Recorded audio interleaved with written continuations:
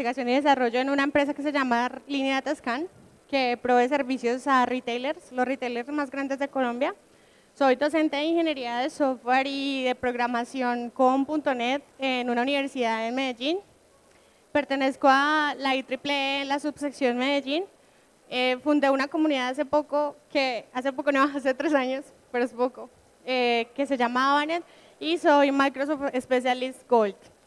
Lejos de ser una lista de cosas con las que pretendo decir yo soy, yo soy, yo soy, es, no encuentro una forma de decirles a ustedes em, que esa perspectiva eh, personal que les voy a presentar proviene de un lugar y es de que tengo diferentes vivencias en diferentes espacios, desde el empresarial, el académico o participar en comunidades. Es más ese tipo de visión para encontrarle una razón a lo que voy a decir que pienso que puede mover sensibilidades.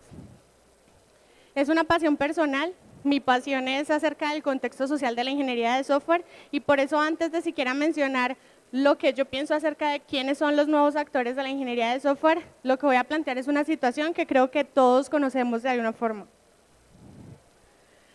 Un día, eh, siempre me ha preocupado el tema de ejercer profesionalmente el software. Un día encontré, digamos, el tema bajo este título. Hace un poco un congreso en Medellín y el congreso, su eslogan era este, por la profesionalización de la ingeniería de software, por cómo los ingenieros de software deberíamos eh, sentir orgullo y cómo los demás deberían entender que al hacer software, el programar, el crear software es un ejercicio digno. ¿A qué se refiere eso de digno? La problemática es esta. No hay ingenieros de sistemas. Esa frase de ahí, que la pongo en comillas, es tomada de la revista de enero del año 2008. ¿sí? Dice, el interés de los jóvenes por la tecnología ha disminuido, eso es obvio. Para mí es obvio, lo fue en mi salón de clase. Yo tenía salones de 40 estudiantes, 45 estudiantes y hoy tengo salones de 5 estudiantes con los que seguramente ni siquiera pueden pagar mi sueldo. Entonces es muy complicado para una universidad sostener un programa académico con esa afluencia de estudiantes. Esta frase es del presidente de Intergrupo, ustedes saben que es una de las compañías colombianas más exitosas pues, haciendo software, y él dice esto, el tema es preocupante y lo dijo en esa fecha, lo dijo en 2008 y para hoy es el tema, el tema es preocupante en el país porque las personas usan la tecnología, la quieren usar todo el tiempo, se apropian de ella, la comparten con todo el mundo, pero es diferente, no la quieren construir. Es, el sentimiento frente a asumir la construcción es muy distinto. Pero cuando salió ese artículo, eh, la presidenta de ASIS se enojó muchísimo de que los empresarios hubieran dicho que no había ingeniería, no habían ingenieros de sistemas, porque no es cierto. En realidad sí hay ingenieros de sistemas. Lo que pasa es que la naturaleza, los roles que están ejerciendo esos ingenieros van de cara al soporte de las organizaciones, a quienes son los que soportan la infraestructura o las aplicaciones del día a día y no a generar innovación, no a generar avances de alto impacto y por eso las empresas dicen no tenemos ingenieros de sistemas, pero sí los tenemos. Incluso en el artículo hay una frase muy particular que dice, ¿cuántas personas en el mundo hay detrás del hecho de que tú puedas mandar un SMS por tu celular? ¿Cuántas personas soportan ese proceso? Entonces sí los hay, pero están dedicados a tareas del día a día, tareas operativas que quizá no son tan visibles como el emprendimiento actual. Esta es obvia para todos y es la deserción académica obviamente no para todos, no para todas las personas que pasan en todas las universidades, está siendo divertido e inspirador llegar a una universidad y saber que se es ingeniero, se va a ser ingeniero de software. Muchos mueren porque lo único que creen es que pueden, no pueden programar, no adquieren las habilidades suficientes y lo que sucede es que se van en vez de saber o en vez de que sus docentes les cuenten que tienen otros roles por ejercer en la ingeniería de software y que todos los conocemos. Entonces, no hay mucho énfasis en inspirar a los jóvenes hoy en día en que así no tengas habilidades para programar, probablemente puedes tener habilidades para interactuar con un usuario, para extraer todos los requisitos y para que quedaran súper claros y hacer un, un buen producto de software en procesos estructurados, obviamente.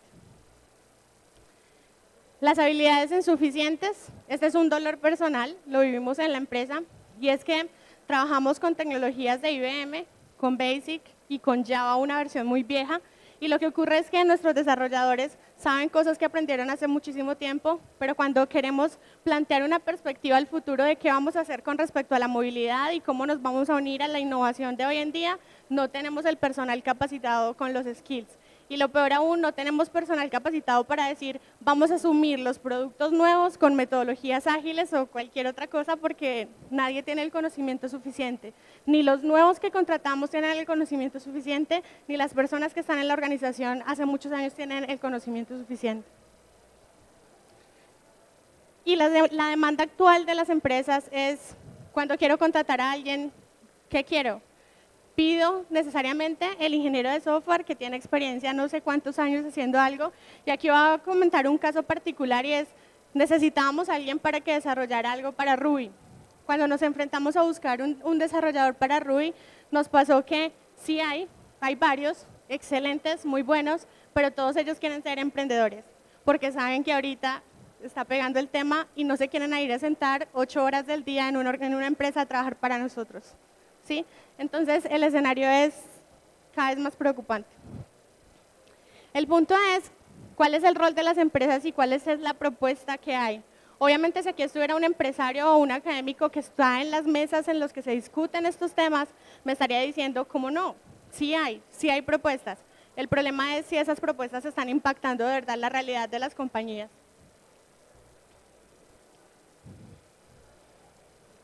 Entonces, el rol de los ingenieros de sistemas lo sabemos todos, de hecho nos reímos bastante de él, es algo, es algo de lo que le hablo mucho a mis estudiantes acerca de cómo nosotros mismos volvemos nuestra profesión como una burla. Nos, nos parece muy gracioso que nuestros familiares o que en el común sea lógico que nos digan que somos ingenieros de sistemas y que sabemos arreglar Word o Excel o que sabemos formatear el computador simplemente, eso nos parece chistoso, pero ¿cuál es el impacto de eso?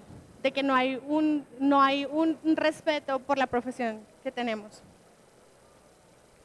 Esta es la posición de la, de la persona que debatió que sí hay ingenieros de sistemas, la presidenta de CIS, y ella hablaba de temas que nosotros sabemos, pero aún así no hay acciones al respecto. y es, por ejemplo, que no hay buenas remuneraciones. Entonces, las empresas quieren o el tipo que sabe hacer de todo, e igual le pagan poquito, o contratan al practicante que no sabe hacer nada, pero lo llevan en la empresa a hacer un montón de cosas y lo queman. Pero la remuneración no tiene que ver ni para el practicante ni para el tipo experto, es consecuente. Entonces, eh, ese rol, ese rol de más valor es el que no conocen muchas personas, que seguramente aquí sí muchos los conocemos, pero eh, también tengo algo ahí. Yo tiendo a comparar muchísimo eh, la ingeniería de software con la medicina. Le digo a alguien, por ejemplo, ¿quién en su sano juicio aceptaría que alguien le hiciera una cirugía de corazón abierto solamente porque se leyó el tutorial en internet? Nadie, ¿cierto? Pero nosotros sí encargamos productos de software a personas entusiastas en su buena fe de que pueden construir nuestros eh, productos de software de enorme responsabilidad para, para las empresas. Alguien me dijo, es que tú no puedes comparar la medicina con la ingeniería de software. Entonces yo le dije, ok, ¿en qué puntos de la vida impacta el software a las personas? Y entonces esto es un ejercicio muy simple, te impacta desde los escenarios cotidianos hasta escenarios que nos parecen grandiosos y de alta innovación, o hasta escenarios típicos como las simples construcciones, las grandes construcciones con todos sus con todas sus formas, sus nuevas formas, no serían posibles si no hubiera el software adecuado para, para construirlas. O cosas tan cotidianas como el simple transporte público, como cuál es el software que controla todas las rutas de Metro, Transmilenio y todas esas cosas, quiénes están detrás de, de esas aplicaciones. O ahí, donde está todo tu dinero, cuando se cae Bancolombia todo el mundo discute, alega y pelea con Bancolombia mientras los de Bancolombia están sufriendo ya encerrados porque están tratando de levantar los servidores. ¿Impacta o no impacta tu vida? Y obviamente ahí impacta la vida. Cada vez más procedimientos de este tipo dependen de que se haga mejor tecnología y obviamente software bien hecho y más preciso para poder hacer mejores cosas. Entonces la pregunta es, ¿cuántos de nuestros profesionales están, conscientes de que este puede ser su rol y no simplemente ir a sostener eh, la infraestructura o cosas como esas de una empresa, pero aún más, lo que de verdad quiero, lo que de verdad quiero llegar con plantear esta crisis es qué tan conscientes son los demás. Para mí, uno de los primeros nuevos actores de, la ingeniería de software deberían ser los mismos usuarios. ¿Por qué? Por esta razón. Para todo el mundo, para la mayoría de personas, hacer software es la cosa más fácil. ¿sí? Para nosotros los que sabemos cuánto cuesta trasnochar o hacer una simple animación, una simple cosa que el usuario ve en la pantalla, ¿eso es tan difícil? Sí, es difícil y, hay que trasnocharse y hay que estudiar y todo eso. Para ellos es absolutamente fácil, pero lo es porque hoy todo el mundo tiene la tecnología y la considera inherente a sus vidas. ¿sí? Pero entonces, ¿será esa, esa es mi pregunta, será de pronto el momento de educar a los otros profesionales de otras áreas de conocimiento o al ciudadano cotidiano en cuál es la naturaleza de construir software? Nada más ahorita teníamos una charla acerca de metodologías ágiles y mi preocupación es si nosotros mismos no conocemos todo ese tipo de metodologías y no las a aplicar y hay un esfuerzo tan enorme en que todos aprendamos diferentes formas de sacar los proyectos adelante, ¿cómo le explicamos a alguien qué es lo que hay que hacer para poder construir software? ¿Sí? Pero será el momento. Tener un buen usuario es lo mejor que le puede pasar a uno cuando uno está en un proyecto. Un usuario que es claro con las cosas que pide, que te ayuda a entender cuál es su problema, es lo mejor que le puede pasar a uno cuando está haciendo software ¿Será una solución? ¿Será una alternativa? Esos usuarios deberían ser uno de los nuevos actores. En el imaginario colectivo, lo que sucede es que cuando se gradúan de la universidad los estudiantes, la gente, no sabe en realidad qué es lo que va a ir a hacer. Y aprendemos un montón de cosas en la academia y cuando llegamos a la empresa, la mitad, el 80% de esas cosas no las ejecutan en la empresa donde trabajamos. Y terminamos pensando que pues desvirtuándolas. No, no era real, era carreta del profe que me estaba echando, ¿cierto? Y no es real. Sí se pueden hacer cosas con todo eso que uno aprendió, pero pues la realidad es diferente. Sobre la insensatez, tengo una historia más.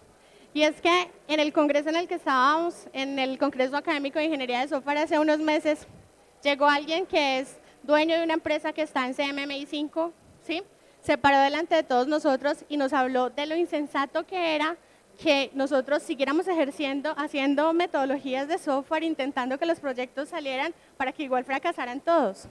Una persona que ha pasado muchísimos años tratando de que su empresa sea exitosa. ¿sí? Entonces, todos los que estábamos ahí amamos la ingeniería de software, queríamos que un hombre como ese nos dijera, hombre, hay esperanza, y este tipo se para y nos dice, no, no hay esperanza, y se fue al salón. No dejó que ninguno le preguntara absolutamente nada de, oye, ¿por qué no hay esperanza? Simplemente abandonó el salón. Yo no entendí eso hasta el momento en el que quise hacer esta charla y dije, ¿y yo qué voy a decir? ¿Cuál es la solución que yo les voy a plantear a todo lo que estoy diciendo en este momento? Es que en realidad plantear una solución para todos es muy difícil. Quizá a eso se debía, a eso se debe su abandono y dejarnos ahí con la inquietud de insensatez. Pero esta es la reflexión y es que la ingeniería de software no se hizo ayer y que algunas de las cosas son trabajo académico de muchos, muchos años de estudio y hoy los estamos desvirtuando. Y los estamos desvirtuando a veces bajo este mensaje.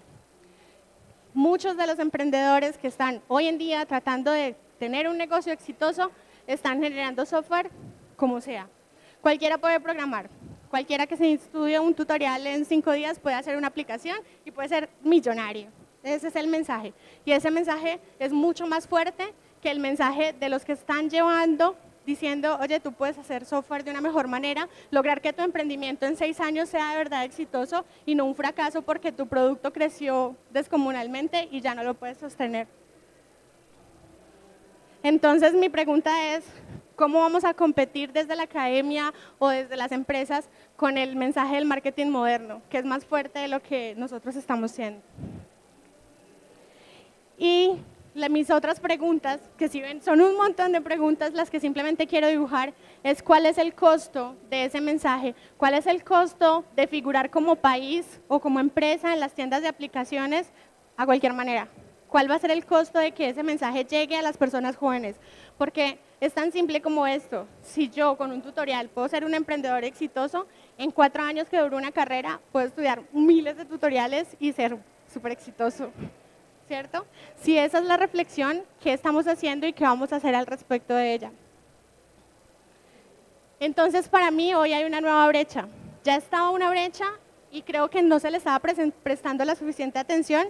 La academia siempre va por un lado un poco más lejos de la empresa, la empresa va por otro, pero para mí es una opinión personal, hoy hay una nueva brecha y es con relación a los nuevos emprendedores.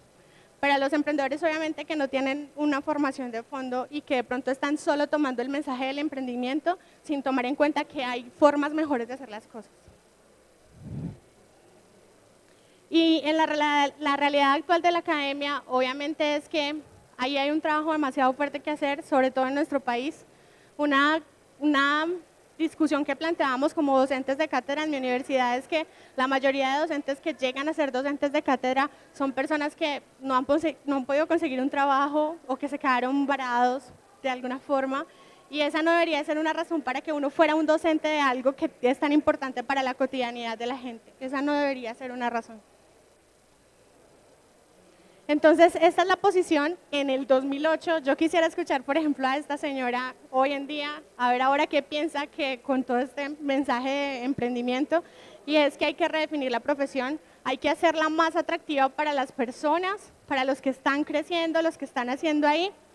Y yo les voy a mostrar, lo que vamos a hacer para finalizar la charla es mostrarle mostrarles, digamos, las cosas que estamos haciendo algunos. Yo no les voy a decir que esa es la solución, solo les voy a mostrar lo que algunos estamos haciendo para ayudar a hacer que ese mensaje sea más inspirador para las personas que vienen en camino y detrás de nosotros.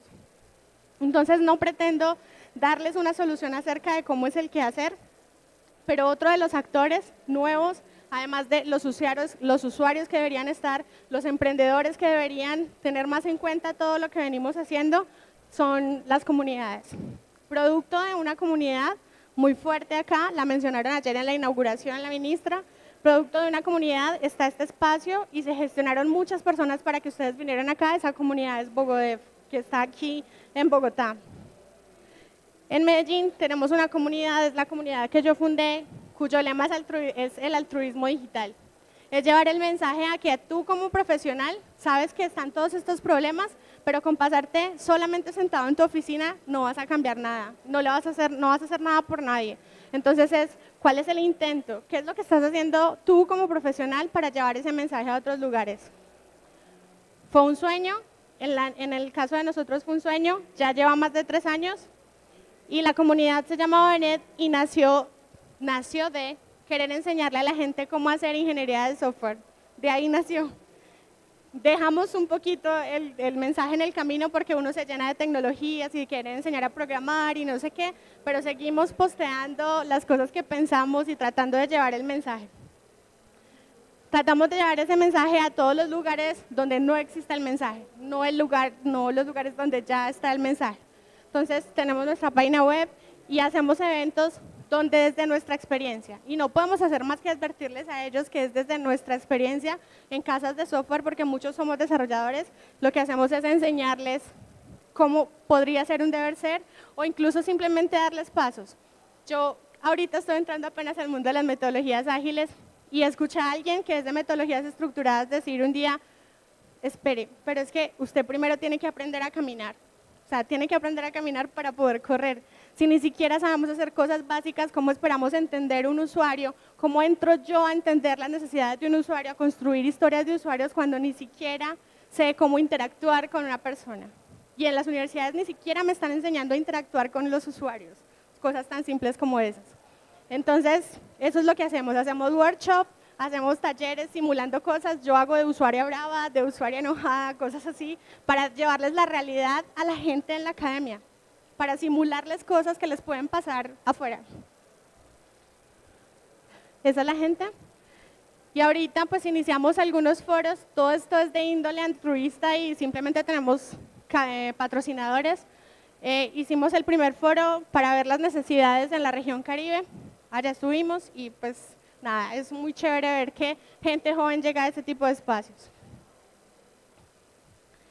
Esta es la comunidad que espero que sigan. Está aquí en Bogotá, hace muchísimas cosas, tiene muchísimo apoyo de muchísimas comunidades. Son personas que se reúnen con el ánimo simplemente de llegar a otros. Obviamente a través de, esas comunidades se proyectan las cosas de cada quien, pero ellos están dando mucho de sí mismos para llevarlo a otros. Esas son las reuniones de Bogodev en Hopewell. Y además está esta, una comunidad que es nueva, que está creciendo, se está fortaleciendo y está por todas las ciudades tratando de llevar el mensaje de las metodologías ágiles. Tienen una práctica que se llama el Coding Dojo, donde lo que hacen es llevar a personas que saben y que no saben a enseñarles mejores prácticas de programación. Porque si algunos estaban aquí en la charla de metodologías ágiles, el mensaje es, tú tienes que ser bueno técnicamente, muy bueno técnicamente, para poder pensar en hacer un proceso con metodologías ágiles. Digamos, a mí lo que más me gusta de esto es que además les pretenden sembrar valores. Alrededor del tema de, de la cultura japonesa y todo eso, es si yo tengo un desarrollador en el que estoy con Ágil tiene que tener una cantidad de valores, y lo dice el mismo manifiesto, como la honestidad y la transparencia, para yo saber que sí estás trabajando y no estás en Facebook haciendo nada, sino que estás aprovechando ocho horas al máximo de trabajo y en esas ocho horas yo te dejo ir para tu casa tranquilo. Entonces, eso tiene un trasfondo y creo que estas personas están tratando de llevarlo, de enseñarlo y inspirando a la gente haciendo cosas. Esta es una iniciativa, es solo de niñas, pero sale dentro de poco y ahí pueden encontrar un artículo que escribí acerca de lo mismo que están, que están escuchando hoy, acerca de cuál es la problemática. Es un espacio abierto para todas las niñas que hay, por ejemplo, acá. Para los niños también para que nos lean. Pero esas, esas iniciativas y la razón por la que las cito es porque es lo que tú puedes hacer. Si tú aprendiste algo, si tú sufres algo en una organización, ¿por qué no lo comunicas? ¿Por qué no buscas esa forma de llegar a otros? Y quiero presentarles una, algo que está sucediendo en Medellín. Hay varias iniciativas de este tipo, pero pues esta me parece muy bonita. Se llama Codrise. En Estados Unidos hay varias. Y es, esta comunidad lo que pretende es llegar un poco antes. Llegar en los grados noveno, décimo y once a los colegios a inspirar a estos jovencitos a dedicarse a construir tecnologías.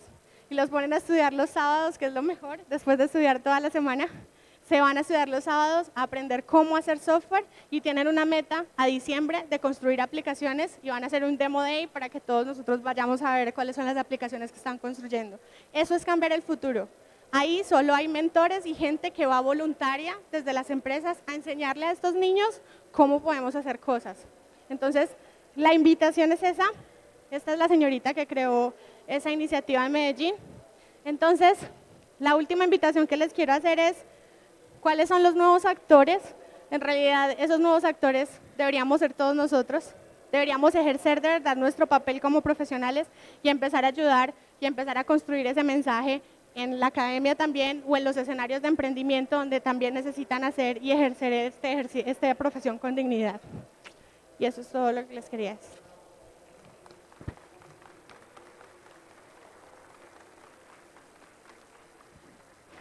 Eh, bueno, entonces, si tienen alguna pregunta.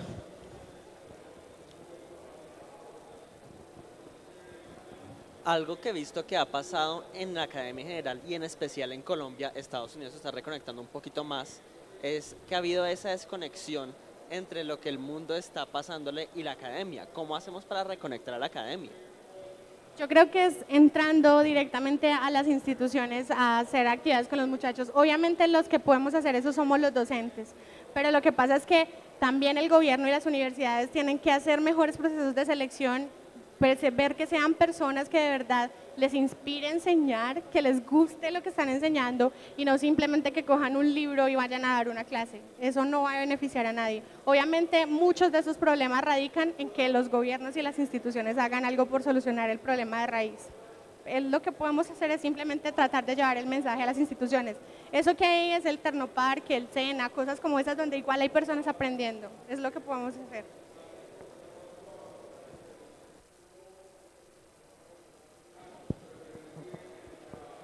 Eh, buenas. ¿Qué piensas acerca de las personas que no son, que no estudiaron para desarrollo de software? como en mi caso que soy ingeniero en telecomunicaciones, o muchos ingenieros electrónicos que lo hacen y desarrollamos software de una buena manera. ¿Qué piensas acerca de eso con la parte de ingenieros que sí estudian para ser ingenieros de software? Mira que en realidad lo que yo pienso no es que alguien se tenga que ganar un cartón para poder hacer software, ¿sí? un cartón específico de algo. Lo que el mensaje y lo que a mí me duele porque me apasiona la ingeniería de software es que también tú deberías aprender cómo se hace buen software. Yo no necesito que tú tengas el cartón para hacer una excelente aplicación, sino que tú puedas entender que hay mejores formas de hacer las cosas, que hay formas de hacer las cosas con calidad, que hay iniciativas ahorita que debes entender y que hay un trasfondo que venimos trabajando que debes entender para poder ejercer ese, ese rol mejor. ¿Alguna otra pregunta?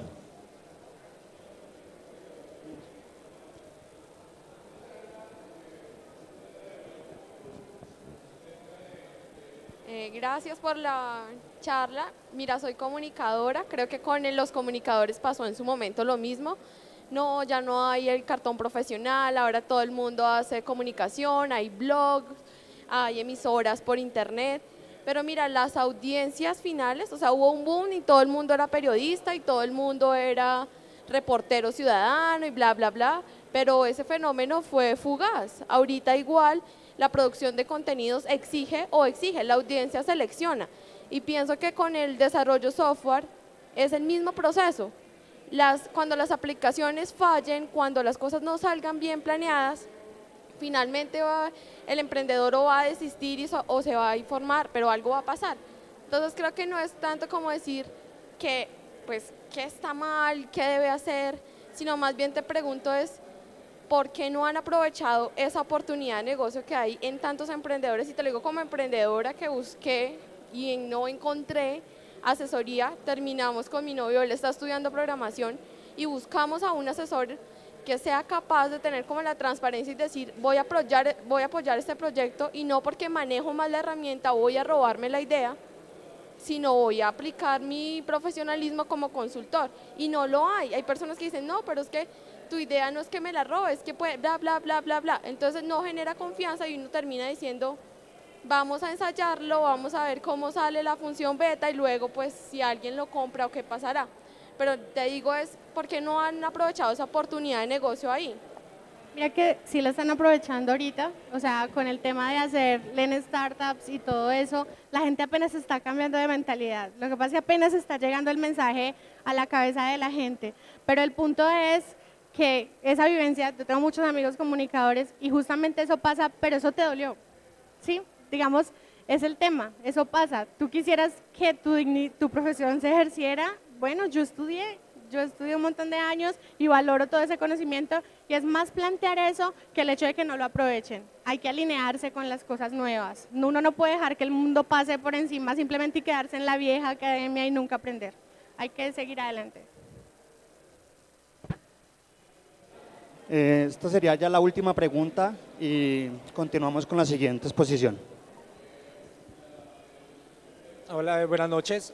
Eh, muy buena tu presentación, la verdad, totalmente de acuerdo. Te quería plantear pues de un estudio que hizo los Andes que yo tuve la oportunidad de leer, donde decía que uno de los mayores, bueno, no lo decían, yo lo concluyo, de los mayores enemigos que tiene nuestra carrera viene desde los mismos docentes de colegio y orientadores de colegios donde por ejemplo dicen que sistemas exactamente es manejar Word, conectarse a Internet, o en el efecto totalmente contrario, ponerlos a programar sin decirles la más mínima eh, descripción del por qué es, qué procesos tienen, si no hagan esto, esto, esto, y miren a ver quién se los hace, porque al final eso es lo que pasa. Entonces, ¿tú qué piensas, por ejemplo, en eso? ¿Qué iniciativas de pronto dentro de las redes se ha hecho? Porque la verdad es un problema. Yo recién egresado, yo ahorita eh, también estoy en la academia, soy docente de la Universidad del Quindío y de la Escuela de Administración y tengo estudiantes de primer semestre donde entra empezando eso y donde dicen, profesor, pero es que yo no quiero programar y es lo único que me dicen que se puede hacer. ¿Y que quiénes se los dicen? No, los orientadores vocacionales. Entonces me parece que es un, o sea, es un problema, la verdad, de mucha índole, estoy de acuerdo contigo, soluciones difícil es muy difícil, más cuando el, profesorado que es de planta, ¿cierto? Son personas que lo son hace muchísimos años, que no cambian de visión, que no, tienen en contacto con la, no están en contacto con la academia, pero para solucionarlo desde atrás son varias iniciativas. CodeWrite es solo una de ellas. El mismo IEEE tiene un, un, algo donde tú los llamas y ellos llevan el mensaje a los colegios. ¿Sí? Entonces yo creo que también es falta de conocer las iniciativas que hay, algunas no son comunicadas correctamente y por eso no sabemos que existen, pero sí hay, o sea, hay que hacer algo, hay que intentar al menos tratar de cambiar el rumbo desde algún lugar, es, es eso, pero no vamos a hacer más que intentos. Ah, y para terminar, qué pena, pues que me alargue un poco. También veo que otro problema es a nivel del gobierno. Yo tuve la oportunidad de mirar varias convocatorias de esas tantas que hay hoy en día para el sector público y cargo X, perfil, ingeniero de sistema, administrador, publicista, o sea, no difieren los perfiles ni el mismo gobierno. Y no va a empresas que dicen, ingeniero de sistemas, llame lo que se me dañó la impresora. De hecho, aquí yo les confieso, disminuí un poco el mensaje respecto a eso porque estamos en, ¿cierto? Pero al principio no comulgué mucho con, la idea de, APSCO, pues yo entiendo que ellos tienen una muy bonita misión de tratar de lograr cosas por el país, pero el mensaje es doloroso porque están llevando a todo el mundo a hacer aplicaciones de cualquier forma y es claro que esa no es la forma, o sea, van a sacar, hacer números en las tiendas, Colombia puede quedar muy bien posicionado, tenemos no sé cuántas mil aplicaciones allá, ¿a qué costo? Lo que les estaba planteando era justamente a qué costo. Ese mensaje va a quedar en las generaciones que están surgiendo. Para eso hay presupuesto. Y el presupuesto para mejorar la, el currículum académico de las universidades, ¿dónde está? Ya me lo hicieron decir. Gracias. Muchas gracias por venir.